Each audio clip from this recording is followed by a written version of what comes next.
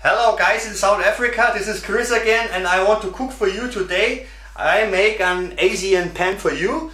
It is vegetarian food, it is easy to do, it is cheap and it smells, it smells, I can eat it every day. So it's easy. We need pepper, we have carrots, we need mushrooms, onions, we need uh, curry powder, a little bit of piece, a little bit of salt. We need an oil. We need uh, coconut milk. We need the whole corn rice. I don't uh, use the white one. I use the whole corn rice with full ingredients.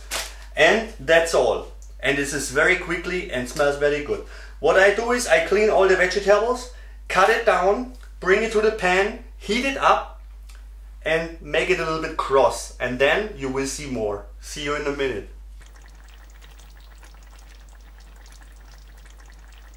So as you can see it's very easy.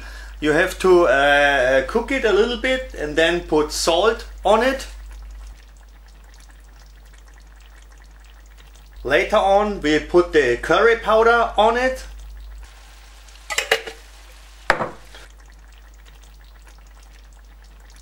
and I'm a little bit lucky. I have the coconut milk on the top, the coconut paste and the milk is on the bottom so I don't use the whole milk, just cream.